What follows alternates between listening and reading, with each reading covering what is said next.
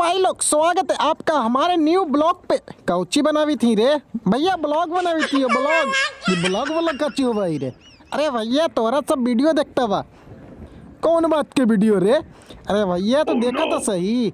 तू गाड़ी चलाते रहा, बस हम तोरा वीडियो बनावी थी एकदम फ़ेमस हो जाएगा तू वायरल वायरल अरे रुक ना, छौड़ा देगी हूँ साला। साइकिल से जाई थी। चल जेबा बेटा, एक हाथ से साइकिल चलाई बता जेबा ए भैया, एक बात बतावा तो गड़िया चल चकवा, कितना का माइलेज देवा ए बाबू, तुम सच सच बतावी थियो, पचास साठ के तो इसी दे दे भाई ए भैया, काहे ला फेंकिता हो? पल्सर है तोर गड़िया। चल चकवा गाड़ी लेकर घुमा, कहा के पचास साठ के माइलेज देते। देख बाबू, हमरा झूठ बोले से कोई काम ना हो। तू पूछ ले तो हम बता दे लोग पचास साठ के माइलेज देबो। पिछले महीने हम गाड़ी निकाल लू है। दम एकदम वन टच गाड़ी है। तब फुल सर्विसिंग करवा के घुमाई।